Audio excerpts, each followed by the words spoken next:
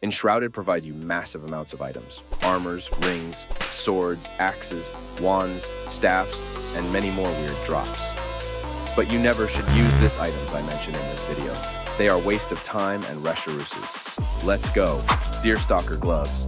Its most op enchantment, 12%. All type of DMG. Not work. Ring of Ancients.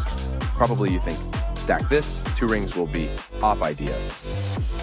Wrong this item, not give any stats. Assassin set pieces, their main feature is backstab damage. But stacking backstab enchantments, not rise backstab damage ornate woodbow. Like before, most of his enchantments are vicious, and it pump backstab damage, warden trousers. Avoid use this pants and defense builds because skills you pick in tank tree overcap damage reduction limit and pants not give anything extra into this stat. Solider gloves. Here, little bonus you can and you should use this gloves in both one and two handed builds. Damage bonus, enchantment work in both weapon types. Undergrowth staff. Most useless stack of enchantments in all staffs. Every solid mage build work on two rings of rapacity, who almost instantly refresh you mana.